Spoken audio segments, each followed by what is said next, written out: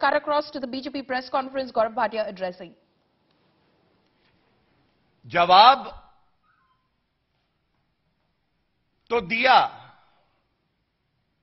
लेकिन वो जवाब क्या था? और उसके बाद जो तथ्य सामने आए हैं ये तो और चिंतित करते हैं। भारत की जनता ये सवाल पूछ रही है। ये याद रखिएगा सोनिया गांधी जी।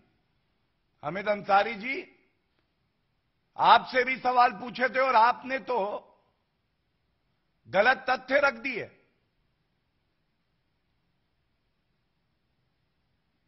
भारतीयता से बढ़ के कोई रिश्ता नहीं है सोनिया गांधी जी। और आज की प्रेस वार्ता का कोई शीर्षक होता तो यही होता कि तार कांग्रेस के पाकिस्तान से जुड़ते हैं, करंट वहीं से आता।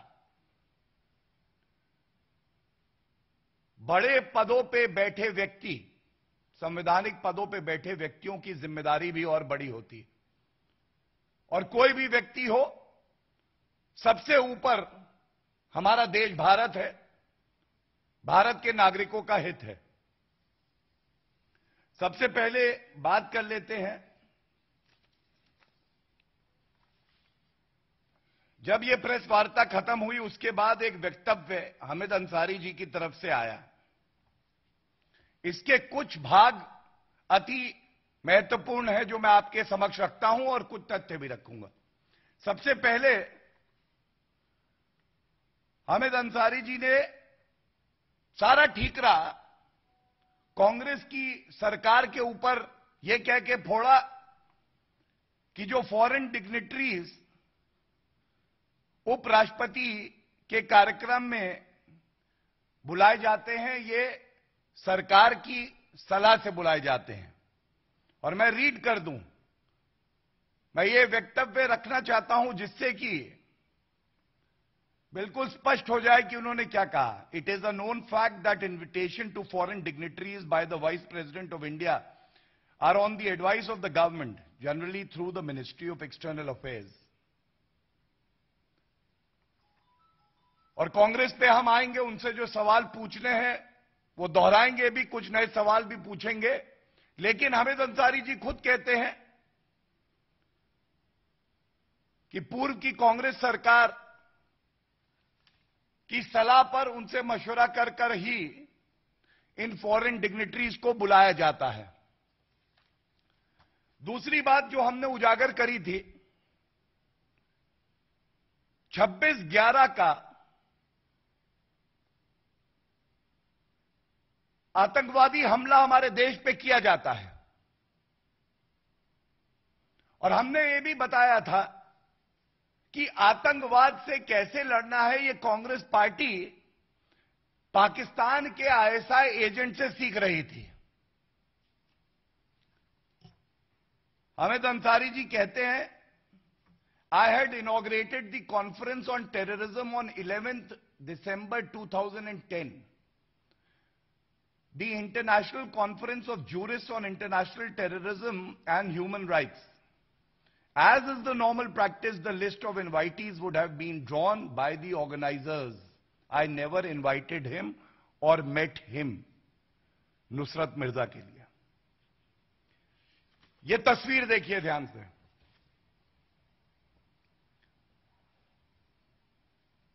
इस तस्वीर में ऊपर लिखा है सेकेंड इंटरनेशनल कॉन्फ्रेंस। उसके नीचे शीर्षक है टेररिज्म, नेशनल एंड इंटरनेशनल। और 27 अक्टूबर 2009 को, और ध्यान दीजिएगा, ये जो मुंबई का आतंकवादी हमला हुआ, उससे एक साल भी अभी नहीं बीता था, एक साल भी नहीं बीता था। और बीच में बैठे हैं तत्कालीन उपराष्ट्रपति हमीद अंसारी जी। और ये देखिए, मंच पे, कहीं और नहीं ऑडियंस में नहीं, मंच पे बैठे हैं ये बहरूपीय पत्रकार, पाकिस्तान के एजेंट नुसरत मिर्ज़ा।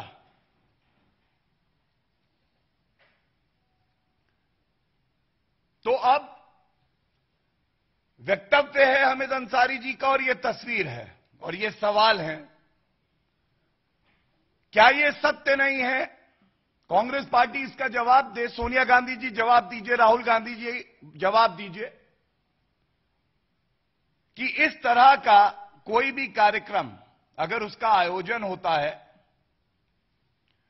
तो उसकी क्लियरेंस इंटेलिजेंस एजेंसीज के इनपुट्स के बाद की जाती है। और वीज़ा देने का कार्य तो सरकार ही करती है। मिनिस्ट्री ऑफ़ एक्सटर्नल अफेयर्स करता है। तो ये कैसे हो गया कि ऐसा पत्रकार जो पाकिस्तान के आईएसआई से भारत की गोपनीय, अति संवेदनशील, मैं दोहरा दूँ, जानकारी साझा कर रहा था, वो तत्कालीन उपराष्ट्रपति। हामिद अंसारी जी के साथ बैठा हुआ है। दूसरी बात, इसी तस्वीर में अगर आप देखें तो सरकार के बड़े वरिष्ठ मंत्री भी बैठे हुए हैं। कांग्रेस की सरकार के वरिष्ठ मंत्री मंच साझा कर रहे हैं।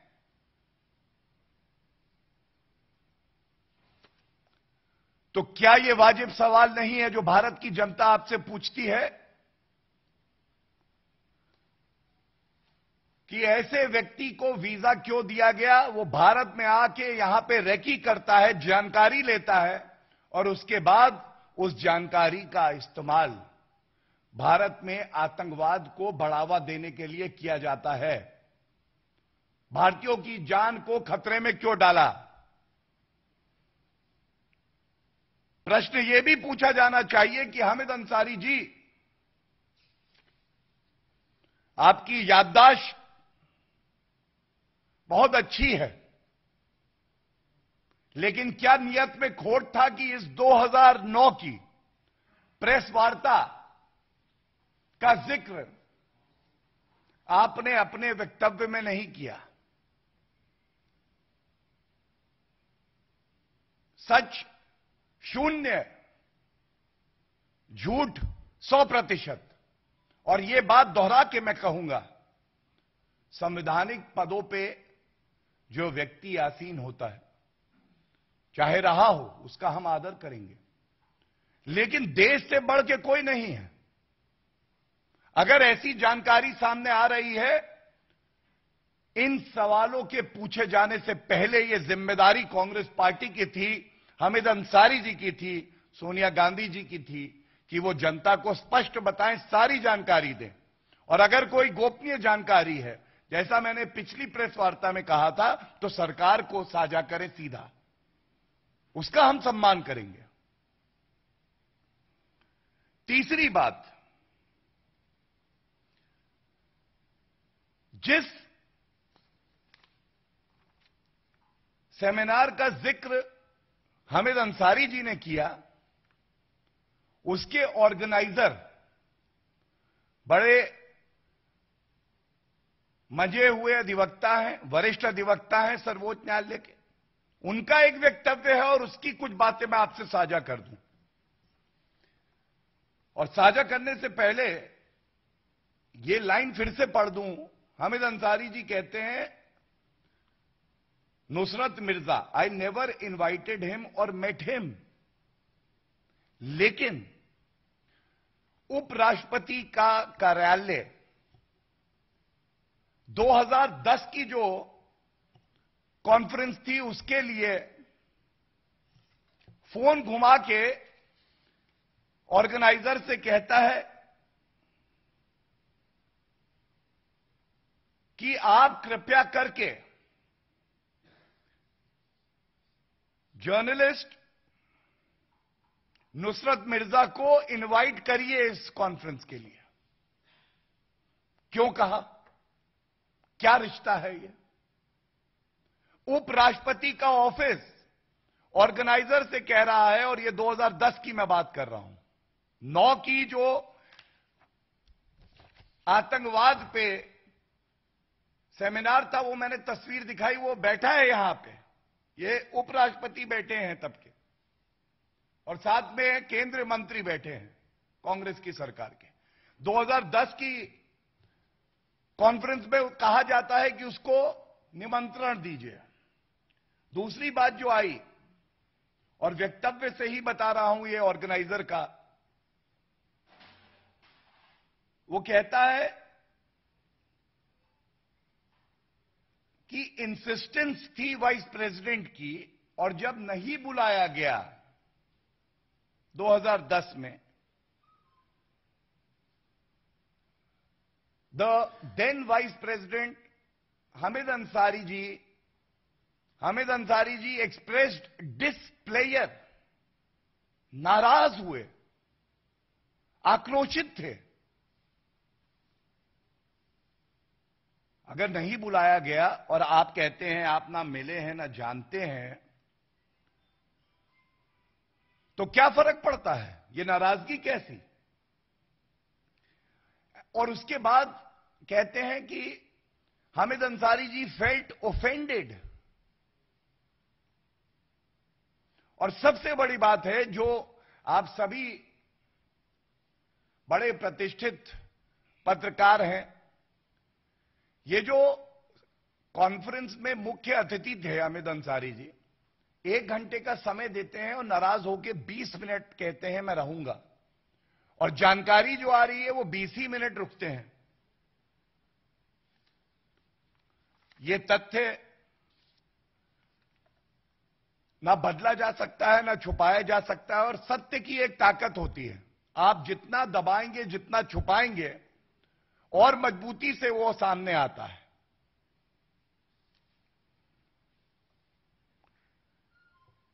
इसके बाद कांग्रेस पार्टी पे भी आते हैं और ये इसलिए आते हैं कि सरकार कांग्रेस पार्टी की थी और किस संदर्भ में हम बात कर रहे हैं ये मैं आपके समक्ष रख दूँ।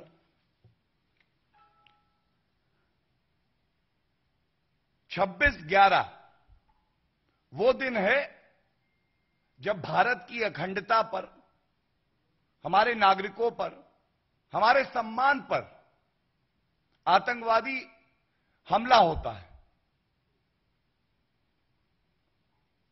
और इस हमले को अभी एक साल भी नहीं बीता था। इस सेमिनार की आवश्यकता। जहाँ पाकिस्तान के एजेंट आके भारत को पाठ पढ़ाएँगे कि आतंकवाद से कैसे लड़ा जाए।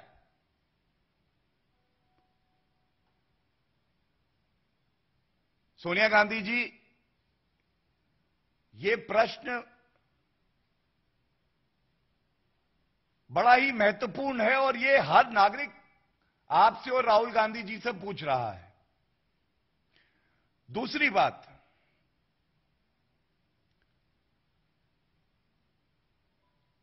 केंद्रीय मंत्री आपकी सरकार के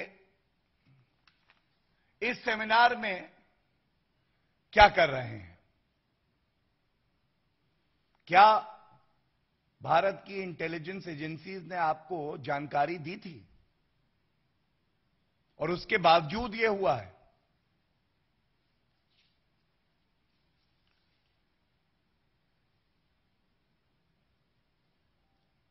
एक बात और सामने आपके रख दूँ।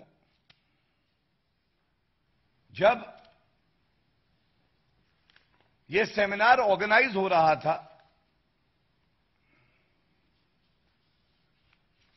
तब इस ऑर्गेनाइजेशन ने एक प्रेस वार्ता करी कि 27 अक्टूबर 2009 को हम ये आतंकवाद पर सेमिनार करेंगे। और मंच किसने साझा किया? उस वक्त प्रेस कॉन्फ्रेंस में मंच साझा किया था कांग्रेस के मंत्री रहे कपिल सिब्बल जी ने। अब आप मुझे बताइए कि अगर कांग्रेस की सरकार का सहयोग ना होता तो ये केंद्रीय मंत्री जानकारी देने के लिए भी और वरिष्ठ मंत्री रहे हैं कांग्रेस पार्टी के। ये बात अलग है कि वो अब दूसरी पार्टी में है जो आतंकवादियों का समर्थन करती है। लेकिन जानकारी भी आपको थी राहुल गांधी जी। आप इस सेमिनार को समर्थन भी दे रहे थे और देश के खिलाफ आप काम भी कर रहे थे। और कुछ जानकारी जो बड़ी आवश्यक है, जब भी किसी सबसे ऊँचे संवैधानिक पद पे जो व्यक्ति बैठा है, चाहे माननीय राष्ट्रपति जी हो, माननीय उपराष्ट्रपति जी हो माननीय प्रधानमंत्री जी हो, उनका कोई कार्यक्रम होता है तो एक प्रोटोकॉल होता है। और उस प्रोटोकॉल में सबसे पहले संवैधानिक पद पे जो व्यक्ति बैठा है, उसका कार्यालय जानकारी लेता है कि कौन कौन व्यक्ति इस कार्यक्रम में रहेंगे, मंच कौन कौन साझा करेगा, और यहाँ तक रूपरेखा और डिटेलिंग होती है कि इस मंच पे कौन कहाँ बैठेगा। तो अगर ये जानकारी साझा की गई हमिद अंसारी जी से और उनके कार्यालय से तो क्या ये मानना सही नहीं होगा कि आपकी सहमति से ही और कांग्रेस पार्टी की सरकार चाहती थी कि ऐसा व्यक्ति भारत में घुसे और भारत की अखंडता को ठेस पहुँचाए? दूसरी बात, अगर हमिद अंसारी जी चाहते तो वो ये कह सकते थे और कांग्रेस की सरकार भी ये कह सकती थी कि इस व्यक्ति को यहाँ पे नहीं बुलाया जाए। हम वीज़ा नहीं देंगे सरकार कह सकती थी कांग्रेस की। और मैं मंच साझा नहीं करूँगा, ये हमिद अंसारी जी कह सकते थे। तमाम बार ऐसा हुआ है। लेकिन जैसा हमें पता है, कांग्रेस पार्टी का चरित्र यह है सर्जिकल स्ट्राइक का प्रमाण मांग लो। आर्मी चीफ को सड़क का गुंडा बुलाओ जब पुलवामा में हमला हो तो उसको होम ग्रोन टेररिज्म बता दो। और इसीलिए आतंकवाद के खिलाफ जो मज़बूत लड़ाई श्री नरेंद्र मोदी जी के नेतृत्व में हमारी सरकार लड़ रही है, उसमें सबसे कमज़ोर कड़ी कोई है। तो वो हमारा विपक्ष और कांग्रेस पार्टी है।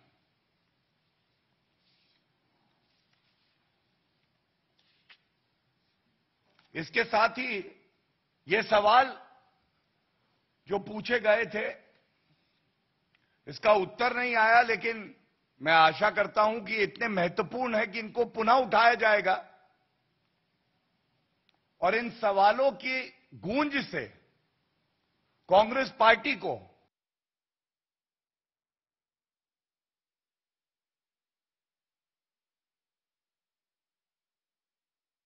है।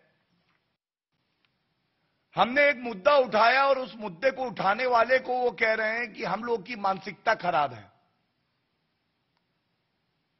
लेकिन जो बात हमने उठाई कि आपने पाँच बार ये जो पाकिस्तान से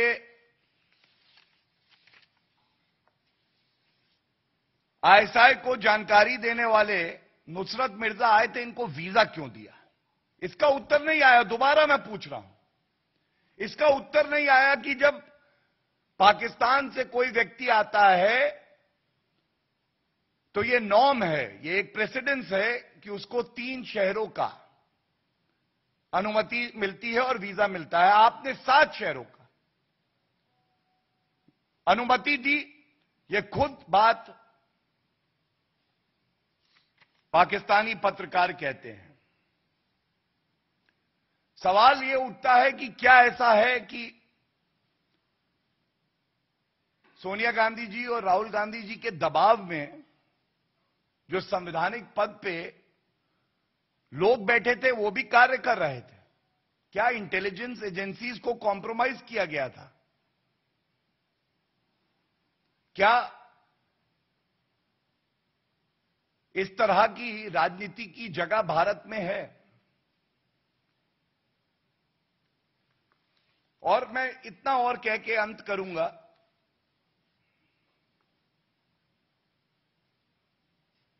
छब्बीस ग्यारह का ये जो हमला है, इसके बाद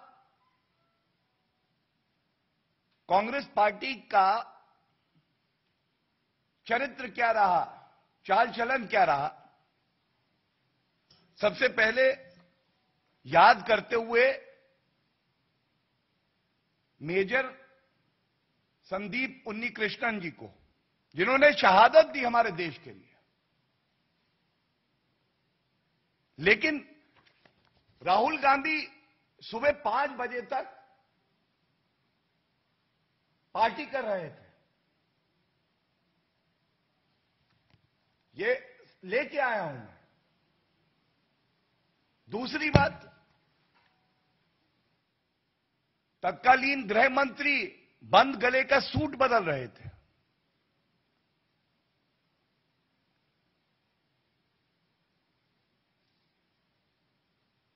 हमारे देश की सेना पूरे विश्व में सबसे ज़्यादा वीर थी, है और रहेगी। और तत्कालीन air chief marshal Fali Homi Major ji ने उस वक्त भी कहा था कि अगर सरकार इशारा कर दे तो हम ऐसे देश को जो यहाँ आतंकवाद फैलाता है, हमले करवाता है, सबक सिखा देंगे नेस्त नाबूद कर देंगे। लेकिन यह निर्णय नहीं लिया गया। और जो मज़बूत सरकार भारतीय जनता पार्टी की श्री नरेंद्र मोदी जी के नेतृत्व में सर्जिकल स्ट्राइक करती है, बालाकोट एयर स्ट्राइक करती है तो उस पर प्रमाण हमसे मांगते हैं। और इसके साथ एक बात और जोड़ दूँ। ये पूरे भारत की भावना है और कांग्रेस पार्टी के नेता रहे हैं, मनीष तिवारी नेता हैं, मंत्री रहे हैं उनकी किताब में भी यही बात लिखी है कि कांग्रेस की सरकार में सेना के हाथ बाँध दिए गए थे। जो रिस्पांस होना चाहिए था, वो नहीं था।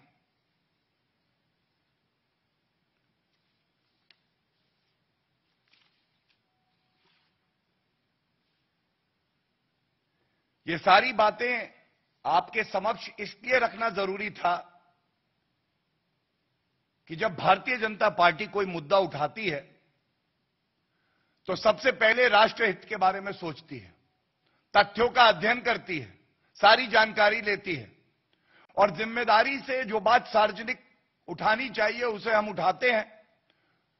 और उसके अलावा कोई भी ऐसा तथ्य हो जिससे हमारे देश को परेशानी हो, वो कभी भी सार्वजनिक मंच से नहीं उठाया जाएगा। लेकिन ये जो सवाल है, ये कांग्रेस पार्टी को, राहुल गांधी जी को, सोनिया गांधी जी को इसका उत्तर देना चाहिए। ये तस्वीरें लाखों लाखों शब्द बोलती हैं, ये तस्वीरें आवाज़ है 140 करोड़ भारतीयों की, जो चीख चीख के आपसे ये सवाल पूछ रहे हैं। धन्यवाद। Any question I take them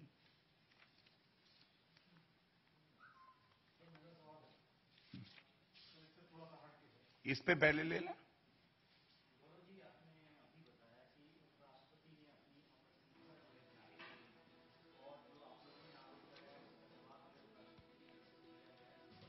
Heard the Bharatiya Janata Party there going all guns blazing against former Vice President Hamid Ansari and the alleged uh, Pakistan spy links. Yesterday, Hamid Ansari denied all those allegations and charges, but the BJP here producing evidence, picture from an event of uh, 2009 that Hamid Ansari attended and on the dais was Nusrat Mirza, the Pakistani spy who has in fact gone on record to say that he visited India on five different occasions, collected information and passed it on to the ISI.